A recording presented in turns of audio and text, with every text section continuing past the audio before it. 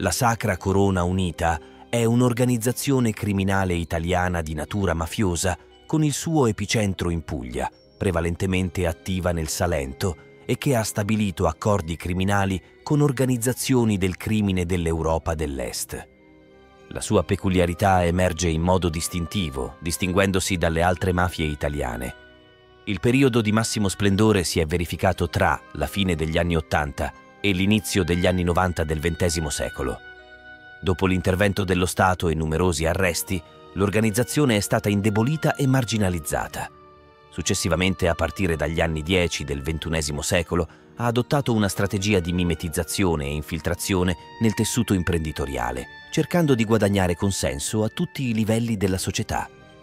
Il nome di questa organizzazione ha le sue origini nella tradizionale cultura mafiosa.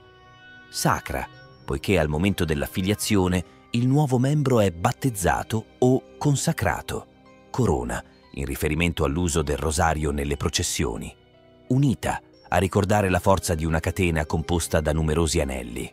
A partire dagli anni 50, la Puglia, come altre regioni d'Italia, fu designata come area per il confino obbligato di pericolosi criminali appartenenti a Cosa Nostra, alla Ndrangheta e alla Camorra. Nel 78 la Guardia di Finanza avviò un'offensiva decisa contro il contrabbando di sigarette a Napoli. Di conseguenza, le organizzazioni contrabbandiere campane trasferirono tale traffico insieme a quello di armi e eroina, lungo le coste pugliesi di fronte alla Jugoslavia e all'Albania, principali centri di smistamento per queste merci illegali. In questo contesto, il traffico di droga divenne anch'esso un'attività di rilevanza. I clan pugliesi inviavano eroina verso il nord Italia e la distribuivano nelle piazze dello spaccio della Lombardia, Veneto e Toscana, dove vi erano migliaia di tossicodipendenti. Nell'81 il boss camorrista Raffaele Cutolo incaricò Pino Iannelli e Alessandro Fusco di istituire in Puglia un'organizzazione direttamente derivata dalla nuova camorra organizzata, chiamata Nuova Camorra Pugliese.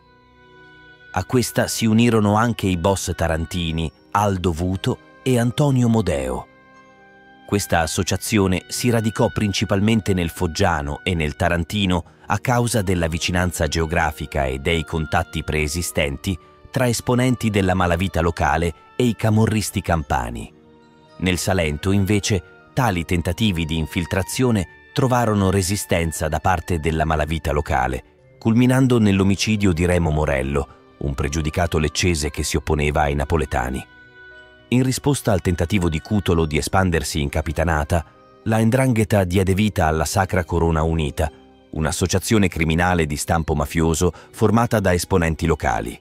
Si dice che sia stata fondata la notte di Natale del 1981, ma altre fonti indicano come data di fondazione il 1 maggio 1983. In questa data Giuseppe Rogoli, detto Pino, affiliato al clan della Ndrangheta Bellocco di Rosarno, ottenne il permesso dal capo bastone Umberto Bellocco e fondò la prima Andrina pugliese all'interno del carcere di Bari, dove era detenuto. In risposta alla formazione della SCHIU, nel carcere di Pianosa nacque la famiglia Salentina Libera, fondata dal detenuto leccese Salvatore Rizzo con propri riti e statuti, il cosiddetto Codice Salentino, che rivendicavano l'indipendenza dei criminali salentini da qualsiasi organizzazione criminale esterna. A causa della detenzione di Rogoli, Antonio Antonica fu nominato responsabile unico delle attività illecite nell'area brindisina. Antonica ebbe anche il compito di nominare alcuni capi zona della provincia di Brindisi.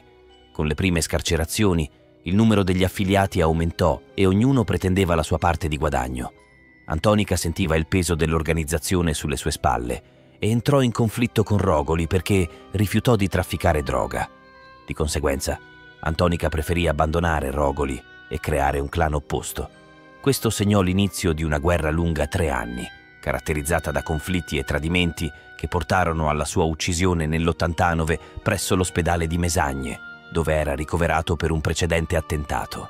Nel 1986 il gruppo criminale barese guidato da Savinuccio Parisi e quello di Giosuè Rizzi e Pino Iannelli indispettiti con Pino Rogoli a causa delle sue franche ammissioni nel processo in cui erano imputati a Bari, si staccarono dalla Sacra Corona Unita e divennero autonomi. iniziò la rifondazione della Sacra Corona Unita con nuove modalità di affiliazione, caratterizzate da regole più rigide e severe. Così, nel carcere di Trani, nacque la nuova Sacra Corona Unita, il cui statuto fu firmato, oltre che da Rogoli, anche da Vincenzo Stranieri di Manduria, Alberto Lorusso, futuro boss di Grottaglie, e Mario Papalia, tarantino legato a Cosa Nostra. Nell'87 la NSCU era composta dalle famiglie più rappresentative del Brindisino e da alcune ramificazioni nella provincia di Taranto. A lungo andare, proprio il gran numero di cosche contribuì a un altro periodo di tensioni all'interno dell'organizzazione, tra Brindisini e Leccesi. Il fronte brindisino della Sacra Corona Unita, con Salvatore Buccarella e Giovanni Donatiello, dimostrò negli anni una maggiore compattezza, finché non fu colpito da una pesante offensiva giudiziaria.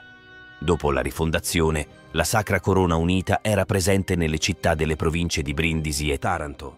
Mesagne, Oria, Ostuni, Carovigno, Torre Santa Susanna, Latiano, Francavilla Fontana, Ceglie Messapica, Villa Castelli, città dove aveva membri importanti, Grottaglie, Lizzano, Crispiano, Manduria, Pulsano e San Marzano di San Giuseppe. Negli anni 90 la città di Brindisi guadagnò il soprannome di Marlboro City a causa dell'ampio traffico di sigarette di contrabbando provenienti dal vicino Montenegro. Numerosi capi della criminalità organizzata, appartenenti alla SQ, si erano trasferiti in questa zona per sfuggire alle autorità e avevano sfruttato l'occasione per stabilire nuovi canali di approvvigionamento di sigarette e droga. Il punto culminante si ebbe nel Maxi Blitz con centinaia di arresti ordinati dal giudice istruttore di Lecce, Vincenzo Taurino, nella notte del 16 giugno 1989. Seguì il maxi processo contro De Tommasi Giovanni, conclusosi nel 91, quando la Corte d'Assise di Lecce condannò numerosi esponenti dell'organizzazione e riconobbe la SCU come associazione di stampo mafioso. L'operazione Salento, svoltasi da maggio a novembre del 95 con la partecipazione di 1700 soldati dell'esercito italiano, ebbe l'obiettivo principale di contrastare l'immigrazione clandestina, ma ebbe risultati positivi anche nella lotta alla SQ. Le pene inflitte agli affiliati furono severe, portando quasi alla decapitazione dell'organizzazione. Con l'operazione Primavera, condotta in Puglia nel 2000, si pose fine quasi definitivamente al contrabbando di sigarette e generi di monopolio, rendendo tale attività marginale se non inesistente. Le azioni di contrasto alla Sacra Corona Unita perdurano fino ai giorni nostri, relegando l'organizzazione ai margini del panorama mafioso italiano ed internazionale. Negli ultimi anni sono emersi nuovi personaggi, caratterizzati da soprannomi coloriti, i quali hanno concentrato le loro attività criminali sul racket, il contrabbando di sigarette e la droga. Alcuni di loro hanno fondato la Sacra Corona Libera. Recentemente alcuni membri di spicco della SCU hanno deciso di collaborare con le forze di polizia italiane, determinando l'arresto di alcuni esponenti dell'organizzazione. Nel 2002 il presidente della Repubblica del Montenegro, Milo Djukanovic, fu indagato dalla Direzione Distrettuale Antimafia di Bari per associazione mafiosa finalizzata al traffico internazionale di sigarette di contrabbando a causa di presunti legami con alcuni boss della SCU latitanti in Montenegro. Le accuse furono archiviate definitivamente a causa dell'immunità diplomatica riservata ai capi di Stato. Secondo la direzione investigativa antimafia, la criminalità organizzata pugliese attuale si presenta disomogenea, con molte consorterie attive diversificate nell'intrinseca caratura criminale e non correlate da architetture organizzative unificanti. Nel 2008 Peppino Basile, consigliere provinciale dell'Italia dei Valori, impegnato in denunce costanti sulle infiltrazioni mafiose a Ugento, fu assassinato. Il candidato mafioso è condotto dagli altri membri in una stanza dove sono collocati vari oggetti simbolici. Un pugnale, una pastiglia per il suicidio in caso di tradimento, un fucile a rappresentare la punizione per il traditore, un limone per la guarigione delle ferite e un batuffolo di cotone, leggendariamente associato al Monte Bianco, luogo sacro. Con il pugnale il neofita viene ferito su dito o braccio e il sangue viene fatto scorrere su una immagine sacra dell'arcangelo Michele, poi bruciata mentre pronuncia un giuramento. Il primo grado è la picciotteria, seguito da camorrista, sgarrista, santista, evangelista, trequartista, medaglione e medaglione con catena della società maggiore. Questi gradi riflettono chiaramente la matrice endranghetista. L'organo direttivo è guidato da Giuseppe Rogoli e dai suoi più fidati, costituendo la coppa, il cuore della corona, simbolica dell'associazione. In una operazione contro i clan Mercante Diomede e Capriati di Bari nel giugno 2018 è emerso l'utilizzo di tali riti. Otto medaglioni con catena compongono la Società Segretissima, che sovraintende un corpo speciale noto come la Squadra della Morte. Va sottolineato che questa piramide di ruoli ha principalmente un significato simbolico. Spesso il potere effettivo detenuto dall'individuo affiliato non corrisponde alla sua posizione nella gerarchia formale. Le faide. La faida del Brindisino. Negli anni dall'89 al 91 si scatenò nel Brindisino una faida con l'obiettivo di eliminare i criminali che rifiutavano di sottostare alla Sacra Corona Unita per ottenere il totale controllo di numerose attività illecite, in particolare il contrabbando di sigarette. Il conflitto provocò una media di oltre 100 morti, tra cui Antonio Antonica, braccio destro di Rogoli, ed Emanuele Rogoli, fratello di Pino. Questa faida fu identificata come una delle principali cause dell'indebolimento dei clan nell'intera area del Brindisino, guidata all'epoca dal clan Buccarella di Tuturano, la faida nel Leccese. La faida si svolse tra l'88 e il 2002, scaturita dal deterioramento dei rapporti tra il boss Antonio Dodaro e i suoi fedelissimi, tra cui Giovanni De Tommasi e Mario Tornese, a causa della pace siglata nel carcere di Lecce tra Pino Rogoli e la famiglia salentina libera, guidata dal boss leccese Salvatore Rizzo e dal cognato Pantaleo De Matteis, che cambiarono nome in Nuova Famiglia Salentina. L'opposizione si manifestò nell'assassinio brutale di Dodaro, sua moglie e suocero nella loro abitazione a Galugnano. Lo stesso anno si registrarono 126 omicidi e tentati omicidi nella provincia di Lecce. Inizialmente la faida coinvolse i clan De Tommasi e Vincenti di Surbo, affiliato alla nuova famiglia salentina, seguiti da conflitti all'interno dello stesso clan de Tommasi tra il gruppo Toma Cerfeda e Pellegrino Presta Vincenti. Nel 2002, durante una sparatoria in un bar di Frigole, Lecce, per colpire un membro del clan Vincenti, una bambina di due anni rimase ferita. La faida del Sud Salento. A partire dal 2010, la Sacra Corona Unita del Sud Salento prosperò con lo spaccio di cocaina nelle numerose località balneari durante l'estate. L'afflusso di denaro derivante dal traffico di droga generò tradimenti interni ai clan.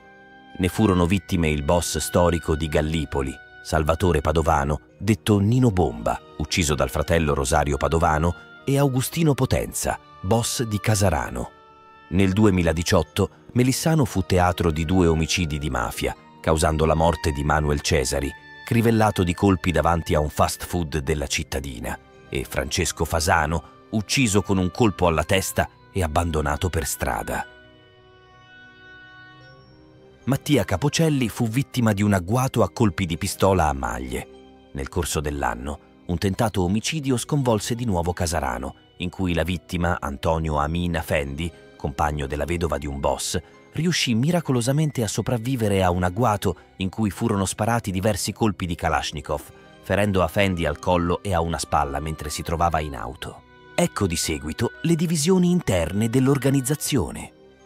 La società foggiana rappresenta un cartello criminale di natura mafiosa con legami alla Sacra Corona Unita, centrato nella città di Foggia e interconnesso con organizzazioni criminali come la mafia siciliana, la Camorra e la Andrangheta. A causa della sua vicinanza alla Campania, il territorio foggiano è stato influenzato dalla Camorra e dalla defunta nuova Camorra organizzata di Raffaele Cutolo. La criminalità, organizzata in batterie, Sinesi Francavilla, Mansueto Trisciuoglio Principe, Moretti Pellegrino Piscopia, ha manifestato una costante evoluzione, aggregando tutte le manifestazioni emergenti del territorio si è infiltrata nelle aree costiere circostanti, imponendo progressivamente i propri interessi illeciti nei settori terziario e delle costruzioni, in particolare assumendo il controllo del settore delle onoranze funebri. L'organizzazione mafiosa operante a Bari e nella sua provincia, la Camorra Barese, è da distinguere dalla Camorra Napoletana. Composta principalmente da confederazioni tra clan, mantiene le attività principali focalizzate su reati legati agli stupefacenti, contrabbando ed estorsioni. Tra i clan più rilevanti figurano gli Strisciuglio e i Telegrafo nel quartiere San Paolo, il clan Parisi nel quartiere Giapigia di Bari, guidato dal noto boss Savinuccio Parisi e Tonino Capriati, clan sgominato, operante a Bari Vecchia, Diomede nel quartiere Libertà e Gili Emergenti Lo Russo e di Cosola a Carbonara. Il clan Strisciuglio esercita il suo dominio su Bari e dintorni, guidato da Domenico La Luna Strisciuglio. L'organizzazione si propone di conquistare territori per imporre il proprio potere su spazi economici sempre più ampi, con una crescente attività di sopraffazione violenta. Questa organizzazione nacque nel 97, con la dissoluzione delle famiglie mafiose Dei di Cosola e La Raspata, a seguito dei blitz Conte Ugolino e Maier, nonché del conflitto con il clan Capriati. La guerra sanguinosa tra gli Strisciuglio e i Capriati culminata con l'omicidio di Giuseppe Capriati da parte degli Strisciuglio, ha portato a un'escalation di violenza per le strade di Bari, causando la perdita di vite innocenti come quella di Michele Fazio. La vittoria finale è stata dei Capriati. Nell'87 Rogoli affidò a Oronzo Romano e Giovanni D'Alena la creazione di un'altra andrina propagine della Sacra Corona unita nel sud barese, chiamata La Rosa, con il consenso dell'Andrangheta per controllare il traffico di droga nella zona. L'ascesa di questa nuova organizzazione è collegata all'omicidio di Ottavio Santonastasi, il boss incontrastato della zona di Monopoli che si opponeva alla crescente presenza di questi nuovi criminali. La Rosa è stata smantellata nell'89 grazie alle indagini del giudice istruttore Alberto Maritati, che ha portato all'arresto e al processo dei suoi affiliati. La Sacra Corona Libera è stata fondata nel 98 da Massimo D'Amico, Antonio Vitale e Massimo Pasimeni, criminali mesagnesi precedentemente appartenenti alla Sacra Corona Unita. Questa organizzazione è nata a seguito di contrasti con Salvatore Buccarella e Francesco Campana, vertici della SCU ancora fedeli a Pino Rogoli, e presenta alcune differenze, come l'uso di minorenni come manovalanza e l'abolizione dei riti di iniziazione. Oltre a mesagne, è presente anche nei comuni di Villa Castelli, Cellino San Marco, Latiano, Torre Santa Susanna e Francavilla Fontana. La collaborazione con la giustizia di Massimo D'Amico e successivamente quella di Ercole Penna, altro criminale mesagnese, nel 2010, hanno portato allo smantellamento dell'organizzazione. La Rosa Dei Venti ha preso forma nel carcere di Lecce nel 90 grazie a Giovanni De Tommasi, Cosimo Cirfeta e Vincenzo Stranieri i quali hanno richiesto il permesso alla Ndrangheta di separarsi dalla Sacra Corona unita a causa di contrasti con Basile. Questa nuova organizzazione è diventata operativa a Campi Salentina, Manduria, Salice Salentino, Surbo, Veglie, Copertino e Taranto, ma è stata immediatamente smantellata a seguito di numerosi arresti effettuati dalle forze dell'ordine grazie alla collaborazione con la giustizia di Cosimo Cirfeta. Ringraziamo tutti voi per averci accompagnato in questo viaggio nel cuore oscuro della storia della Sacra Corona Unita. Speriamo che questo racconto vi abbia fornito una prospettiva più approfondita su una delle organizzazioni criminali più potenti e complesse al mondo. Se il video vi è piaciuto, non dimenticatevi di lasciare un like, condividere e iscrivervi al nostro canale per rimanere aggiornati su nuovi avvincenti approfondimenti e racconti sul lato oscuro della società. Se avete domande, commenti o suggerimenti per futuri video, lasciateceli nella sezione commenti. Continuate a seguirci per esplorare insieme le molteplici sfaccettature della storia, della cultura e della realtà che ci circonda. Ci vediamo al prossimo video. Questo è Nero su Bianco.